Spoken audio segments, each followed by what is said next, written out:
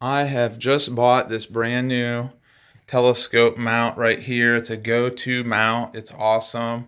And I hope I get the name correct. Bresser.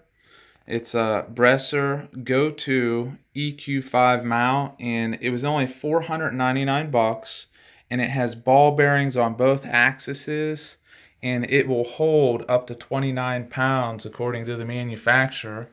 So it's a pretty hefty mount right here. And I have my old C8 Celestron on a Super Polaris mount right there to kind of compare it to. And like this counterweight down here is a 9.9 .9 pound counterweight. You can see it compared to the other ones. But I'm going to leave that off because I'm going to turn the telescope on and slew it and stuff to show you the slew speeds. Uh, I haven't bought a adapter for this telescope yet, so that's why the telescope's not on this mount. And I'm going to slew it here in a second, but it comes with uh, dual axis drives and the hand controller has like 272,000 objects in its database and it comes with a battery pack right there that holds I think it's 8 D cell batteries. But uh, the reason I'm making this video is like whenever you look online at pictures they're like some picture from like really far away like that and you can't really see the details. So I'm gonna get up and close in this video so you can see like the details of the telescope. But I like the dampeners that they have at the base of the tripod and they're just connected with like a screw right there onto the base. And then this part right here is like a nice solid piece that adjusts the height of the tripod. And it has the locking screws right there. There we go. Now that it's focused. But that's how you, adjust the height of the tripod. The tripod has two inch legs to it and it's like really really sturdy and solid. And it has this eyepiece tray right here. This is how you tighten the the mount to the tripod itself. And then this right here is the adjustment for the eyepiece tray to get it to go up and down and put pressure on the tripod legs to hold them out. But here's what it looks like the base of the tripod itself is like really, really sturdy. And I'll show you this right here. There's just absolutely no play. This bolt right here holds this whole entire leg onto this base really, really solid. So this isn't moving. It's got the dampers on the bottom of the tripod leg and thick uh, tripod legs for holding a heavy load. And then for the for the latitude that you live at. Here's the adjustment. I like the little adjusters right here, you know, for going left and right of the Polaris and then going vertical in the sky with like these little adjustment screws that you can lock them out in place. And you can see it says that it's got ball bearings inside. So it's a nice smooth uh, telescope mount. Here is the declination ring on this telescope. The declination and right ascension is pretty much just going to be on the hand controller right here. So that's what you'll be using to check out the right ascension and declination and control like what you're going to look at. And I'll just go up right here. You can look inside see what the inside of it looks like and just get a close-up view. The Polar Axis Finder telescope, I purchased it with this uh, telescope mount. The thing that I like about this versus my other one, the other one just screws in and there's no adjustment to align it the center of the crosshairs up with the actual axis. It just screws in, you have to hope that it lines up. Whereas this one, it has like these little adjustment screws right here, three of them.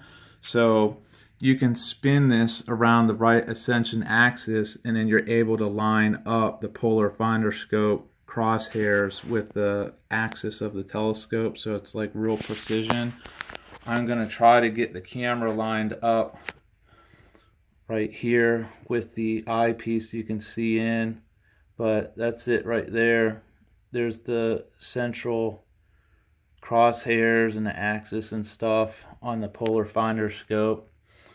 And here's the top. This is the locking mechanism right here for the telescope to put onto the top of the mount like that so you can get a good view of that. And the next thing that I'm going to do is show you how all this is connected like really quick Here's all the wiring, how it's connected into the base and all the different ports that are there.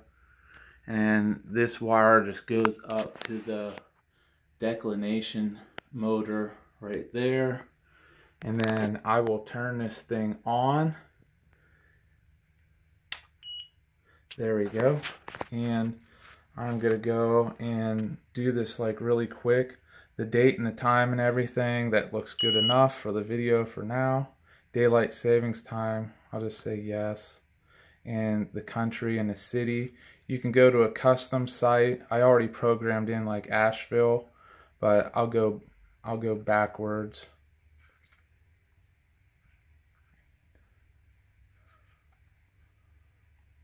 And go up to like country and city and Albania. I'm going to choose what country that I live in like America, and I'm gonna go to like uh, in this direction and see if I can find a city near mine that's already programmed in here. Denver, Dallas, Houston, Kansas, New Orleans, Chicago, Atlanta, and that's good enough. There's the longitude and latitude right there, and I'll just press OK, like Atlanta system initialized. So like this, it tells you the site where you're at. This one right there, the object, you just put the object in that you want and then the OTA is down there at the bottom.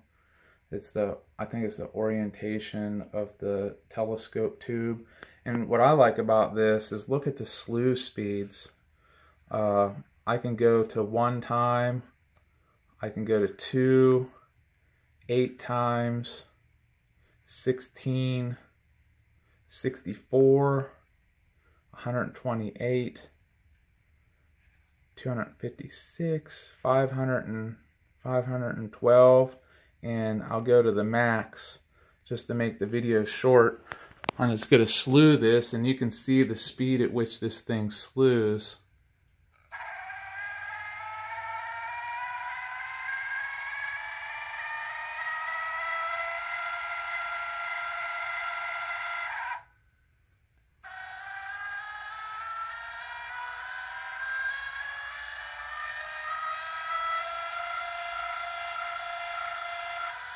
So there you have it, and I'll get closer for the declination.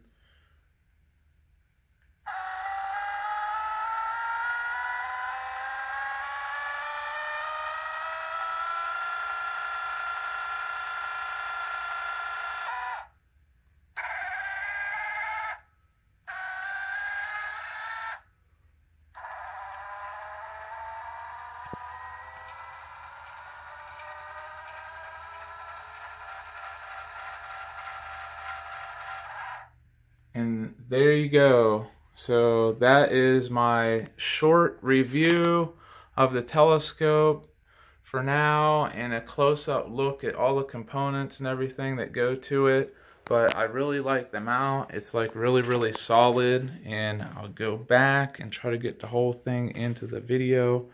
But I really like this mount and I hope you enjoyed this video.